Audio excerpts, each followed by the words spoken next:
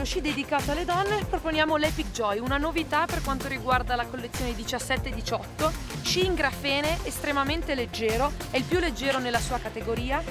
è caratterizzato quindi da una struttura che ha sì grafene ma anche legno, quindi per garantire performance senza affaticare il pubblico femminile che ovviamente fatica spesso ad avere delle attrezzature troppo pesanti. La caratteristica dell'Epic Joy è una geometria molto orientata al racing perché abbiamo un 65 sotto il piede, quindi per una donna che ama sì avere uno uno, un attrezzo non troppo impegnativo ma che cerca comunque delle performance e delle stabilità simili a proprio a uno sci, a uno sci racing. È sicuramente uno dei punti forti è la leggerezza dello sci, ma accompagnato a una grande stabilità in curva, sicuramente consigliato per una, per una donna che non ha voglia di, di avere un materiale pesante sotto i piedi e soprattutto eh, negli spostamenti con gli sci ma- eh, a mano, sicuramente è uno sci molto leggero. Eh, l'ho trovato molto, molto intuitivo e molto maneggevole. Uno sci molto versatile, ehm, un pochino ballerino in punta, ha questo ingresso curva molto immediato, quindi assolutamente da raccomandare alle persone a cui piace